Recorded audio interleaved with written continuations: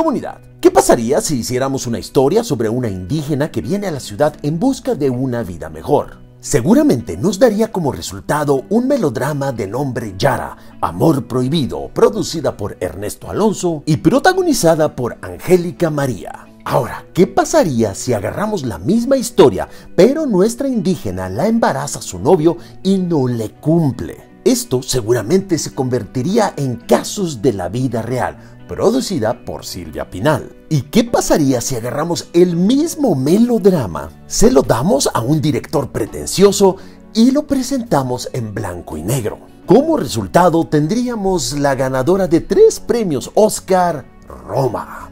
Y es que no sé ustedes comunidad, pero creo que no hay nada más emocionante que empezar una película de tres horas viendo el piso.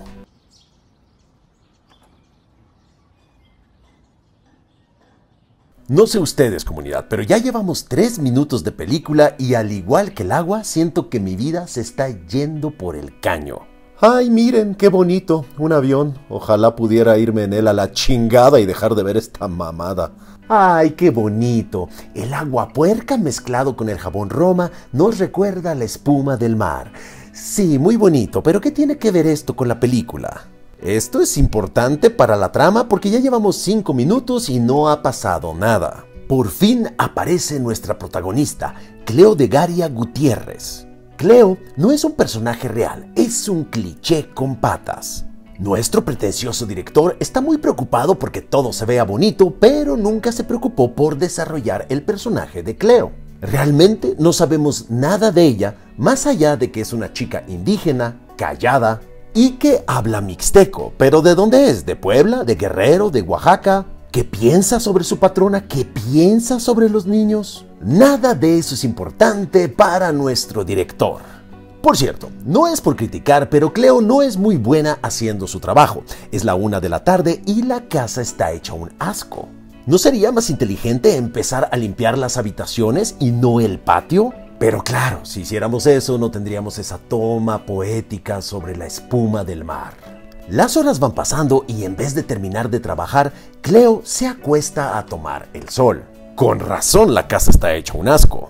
Mientras descansa, comenta, me gusta estar muerta. Al que le gustaría estar muerto es a mí, porque la película lleva 20 minutos y no ha pasado nada. Por cierto, ¿se supone que ver a todas estas mujeres limpiando nos debe decir algo? ¿Es una especie de crítica? ¿O el director nos quería decir que en esa época no había lavadoras? Supongo que este es el tipo de denuncia silenciosa que te hace ganar un Oscar. Después de dormir todo el día, cae la noche y llega el hombre de la casa. Por cierto, si la llegada del papá es un suceso para que todos estén esperando en la puerta, ¿no deberían por lo menos limpiar la caca del piso?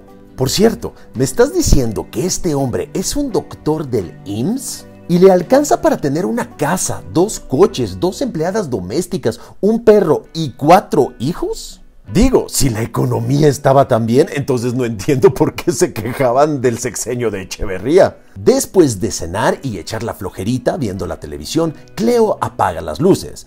Y sí, es una toma muy bonita, pero ¿y de qué trata esto? ¿Hay algún tema en esta película? ¿Va a suceder algo? Pues al día siguiente lo que sucede es que Cleo va al cine con este galán de balneario. Pero en vez de ver la película, le proponen ir a la Alameda, que es sinónimo de Netflix and Chill.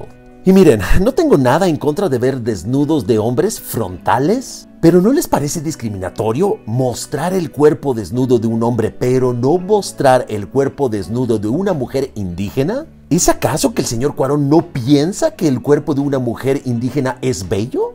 Por cierto, este acto de doble moral no es la primera vez que aparece en la cinematografía del señor Cuarón. ¿Se acuerdan de Y tu mamá también?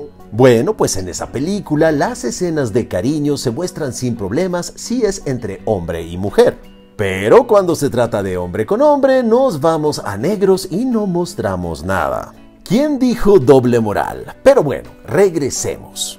Al día siguiente, Cleo se pone a limpiar las miles de cacas que aparecen por la mañana. Por cierto, ¿no deberían de estar secas? ¿Me estás diciendo que el perro se las acaba de echar ahorita? Este perro tiene un problema, por favor, llévenlo al veterinario. Por cierto, imagínense lo interesante que está esta película que uno está más pendiente de las cacas del piso que de lo que está sucediendo.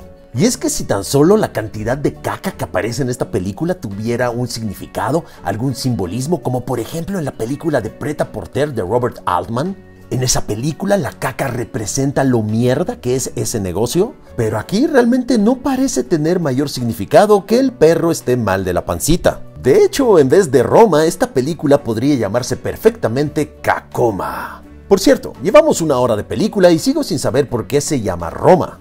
Sí, entiendo que esta casa está en la colonia Roma, pero no sucede nada en esta colonia. ¿Y qué pasa con la gente que no vive en la Ciudad de México y no sabe que hay una colonia llamada Roma? En la película en ningún momento se menciona que están viviendo en esa colonia. Sí, entiendo, suena muy romántico, suena muy bonito, pero no tiene ningún sentido que se llame Roma. Perdón, me distraje. Eh, ¿Cómo llegamos al espacio? ¿Por qué esta escena sería importante para la película, para la trama, para el tema? Supongo que cuando haces una película y los personajes van al cine, te ganas un Oscar. Te estoy hablando a ti, la forma del agua. Así como se ve muy bonita la escena que sigue, ¿se acuerdan de La Perla de Emilio el Indio Fernández? Con la inconfundible fotografía de Gabriel Figueroa. Bueno, en esta escena Cleo dice que este lugar se parece a su pueblo. ¿Y cuál es ese pueblo? ¿Podrías darnos un poco más de información? De hecho, un poquito después se dice que la tierra de la madre de Cleo está siendo confiscada. ¿Por qué? ¿Quién se la puede quitar? ¿Se puede salvar? Nunca lo sabremos. Parece ser que nada de eso es importante. Tanto el personaje de Cleo como la historia es algo bien insípido. Todo carece de explicación, todo carece de profundidad, todo carece de un problema real. Incluso lo del halconazo. ¿Qué protestan los estudiantes? ¿Qué están defendiendo? ¿Por qué parecen amenazar al régimen del PRI? ¿Cómo este hecho afecta la vida de nuestros protagonistas? No hay ningún tipo de profundidad. Solo está ahí para que lo veamos. Porque, ok, a Cleo se le rompió la fuente, pero ¿y la otra trabajadora doméstica? ¿Cómo le afectó eso a ella? La película se llama Roma. ¿Cómo le afectó esto a los habitantes de la colonia Roma? Una vez más, a nuestro director no le interesa desarrollar nada siempre y cuando se vea muy bonito. Después de perder el bebé, Cleo y la familia se van de vacaciones a la playa. Por cierto, ¿qué hicieron con el cuerpo del bebé? ¿Lo enterraron? ¿Lo cremaron? Ah, claro, perdón, no importa. Lo que importa es que la mamá se compró un coche nuevo.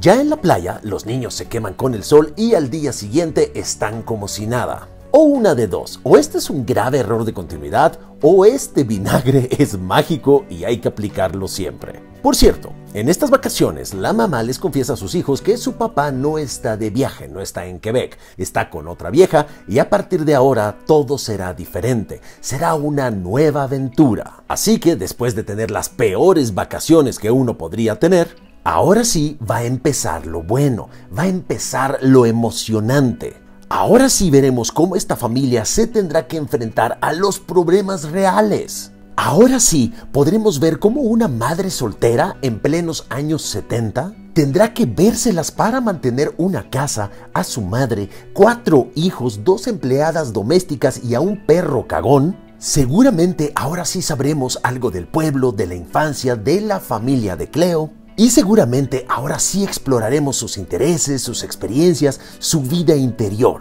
En otras palabras, valió la pena esperar dos horas porque ahora sí se va a poner bueno. Y es que miren nada más, tan solo con llegar a la casa ya se notan los cambios. No están los libreros y los cuartos se han cambiado. ¡Wow! Esto creará un caos. Ahora sí. ¿Qué? ¿Cómo? ¿Se acabó? ¿En serio? ¿Me estás diciendo que esto es la película? ¿Me estás diciendo que una chica indígena que trabaja en una casa, que la embarazan, no le cumplen, pierda al bebé, se va de vacaciones y regresa, ganó tres premios Oscar? Es como si le dieras un Oscar a una película que trata acerca de unos tipos pobres que trabajan en una casa rica y... Ah, ah ya entendí. Olvídenlo. Felicidades, señor Cuarón. Perdón, pero qué pretensión. Esto se pudo contar en 10 minutos en un cortometraje. Ah, claro, pero no hubiera ganado el Oscar. Y no me vuelvas a buscar. ¡Tía!